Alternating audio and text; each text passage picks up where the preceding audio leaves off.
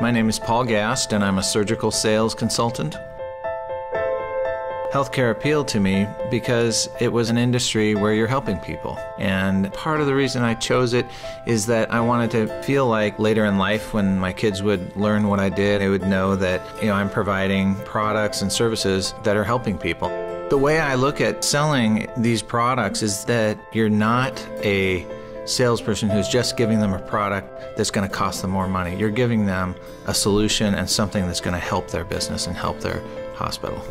And so when you walk in with your CareFusion badge on, they're looking at you going, hey, CareFusion, great. And when they tell me that their outcomes are better because of my product, it's a great feeling. We are actually affecting people. We may not see it because our products get sold and distributed and we're not always there when they're used, but every time they're used, every time those healthcare providers are helped out, those patients benefit.